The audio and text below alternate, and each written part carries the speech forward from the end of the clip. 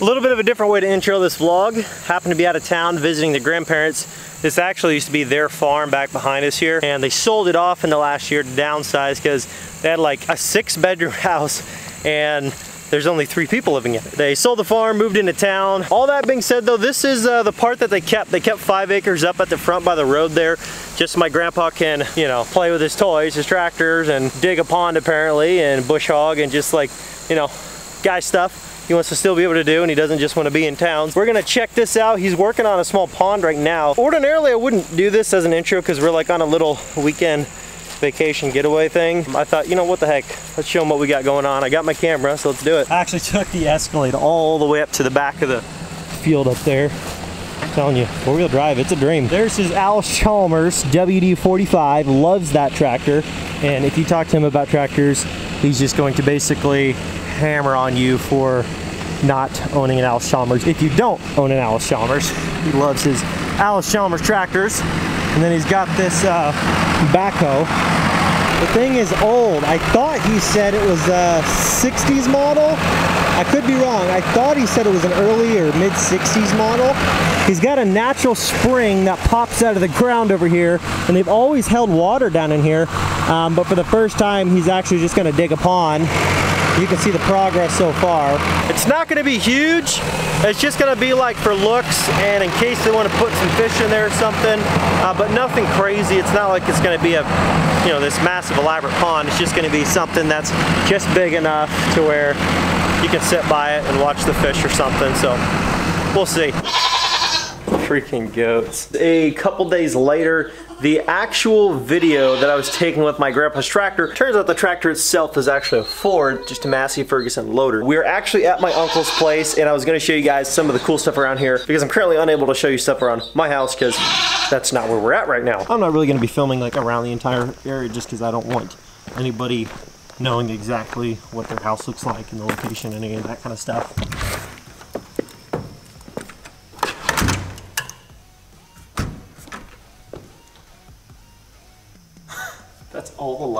Okay, okay, well, um, nice.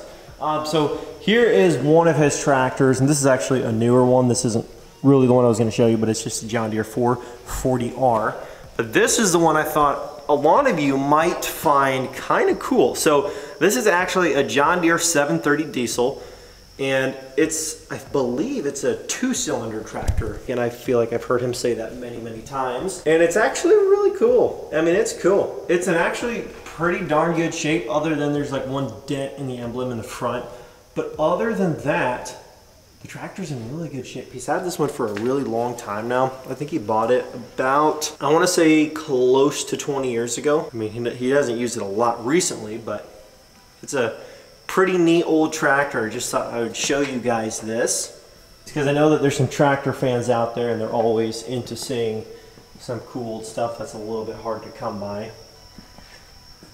And I'm actually not fully aware on how hard these things are to find in really good shape.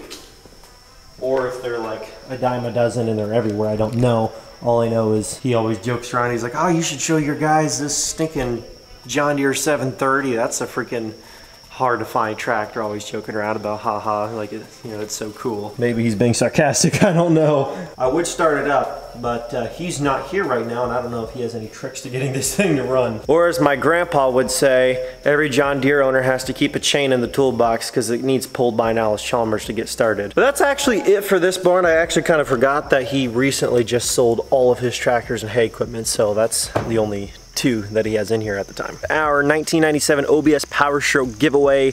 This truck right here, if you have not seen it yet, is up for grabs and you have the option between the 16 by 10 wheels in the Nitto mud terrain tires or the 24 by 14 American Force wheels. Anyways, the truck comes with $5,000 cash. You get your option between the wheels. And right now, every $1 is 20 entries to win, which essentially means every nickel is an entry. And not only that, but every single one of the orders placed at lnpgear.com is also gonna get cash in their order. It's an awesome time to enter. It's the best time to enter. And that giveaway is ending in 48 hours. So if you wanna get in, it's ending in 48 hours, then it is gone. Next part of the video is this third gen. A lot of you guys have seen this if you watch the videos a while back. It's been a little while now since I showed this truck, but it is a 2008 6.7 Cummins 6-speed manual and it's freaking super,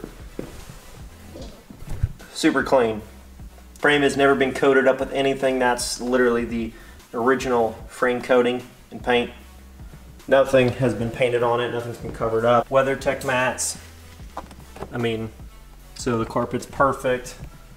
It's got the stick. It is deleted. What, did I show you the mileage on this thing? 58,214 miles. And he actually said that he would sell this truck, and it kind of got me thinking, I don't need another third gen right now, but would you guys be interested in seeing a third gen 6.7 Cummins build with a six speed anytime soon? Because if you would, he said he would sell me this truck. It's not gonna be cheap, but he said he would sell it. And it does have a couple little flaws. I mean, even 58,000 mile trucks will have flaws. It's got a couple little chips here, Got a little ding here, a little ding here, a little chip here, but I do know a really, really good paint guy, luckily.